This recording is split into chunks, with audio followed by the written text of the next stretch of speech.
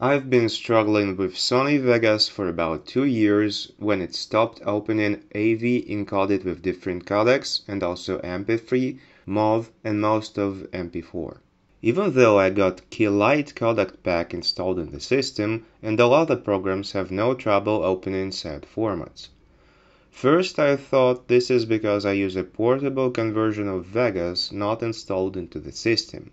However, it turns out this problem exists even on properly installed Sony Vegas. Then I thought this is because Vegas is 64-bit, but K-Lite seems to incorporate both 32 and 64-bit versions of the same codecs.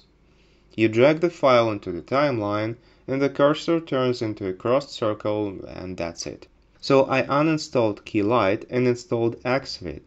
And finally both MP4, MP3 and AV containers now can be opened by Sony Vegas as they should. As for MOV, it at least shows that QuickTime is not installed, even though K-Lite has QuickTime alternative built in.